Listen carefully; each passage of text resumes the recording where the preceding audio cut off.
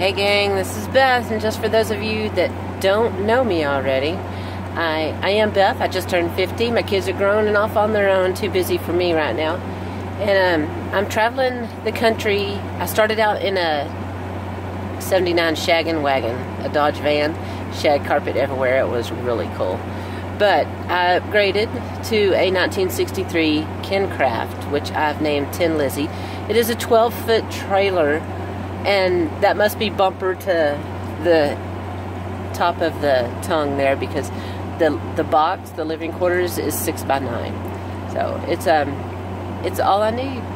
Yep, that's all I need. So anyway, traveling the world, I've done uh, Amazon.com in Kansas. I've uh, worked in Arizona. I've run a oh gosh, I've done all kinds of things. I did the gate at a race and I did. I've managed a convenience store. I've cleaned cabins at a resort. I've taken care of doves for a white dove business. I've rented uh, jet skis and boats and stuff for a water sports place.